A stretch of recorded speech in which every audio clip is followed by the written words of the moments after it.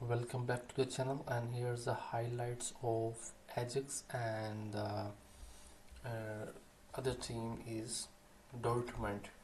And let's look up the lineup of both teams. First of all Ajax they have a good combination like uh, Pasveer who is a goalkeeper and Haller is a main striker from Ajax and Tony and is also a striker and the um, backer side is a blind and the other team of uh, Dortmund who is also um, Malen and Haaland who is the main striker and also the Witsel and the uh, uh, and the Kobel is a goalkeeper and Hummels and the um, Becker of main side and they have a good combination like 4-3-3 and the Ajax uh, combination like 4-2 and 3-1 and let's move on the stats of both team so the first of all shots between both team.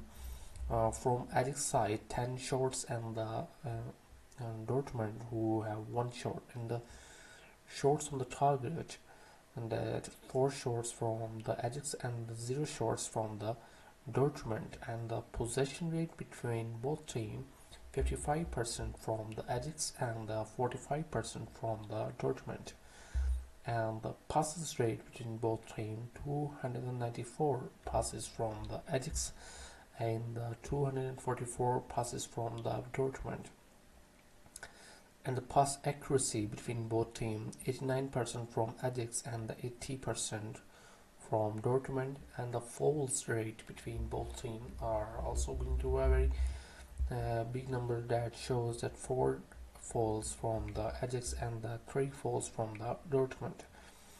And the yellow cards between both teams 1 and 1 and the red cards between both teams 0 and 0 and the offsides between both teams uh, they have 1 and 1 they have equal and the corners between both teams 2 and 0 2 from Ajax and 0 from the Dortmund.